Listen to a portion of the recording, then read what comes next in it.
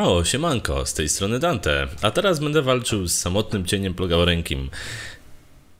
Idealnym sposobem na zabicie go jest korzystanie z laleczki ninjitsu. Wchodzimy do pomieszczenia od razu po lewej stronie, tak jak widzieliście, stoi e, nasza przyszła laleczka, przejmujemy nią i zabijamy plugaworękiego. To znaczy zabijamy, on się skupia na...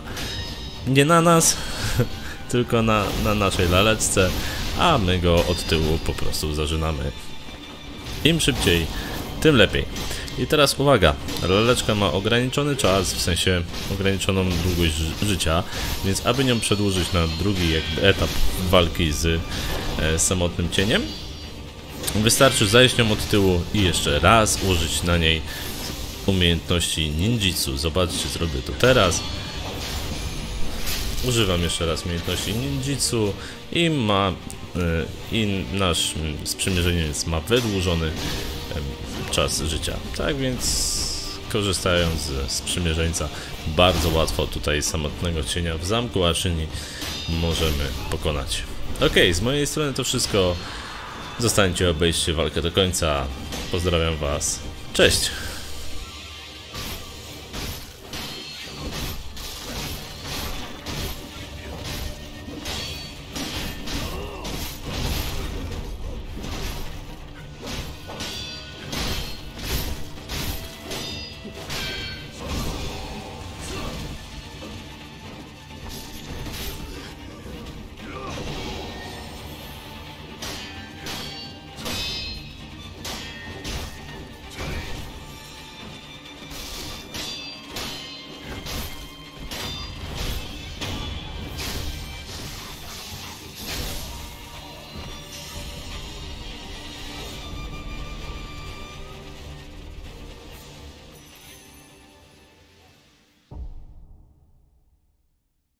No.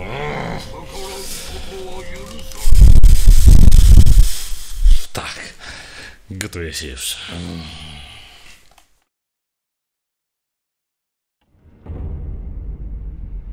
Dziękuję.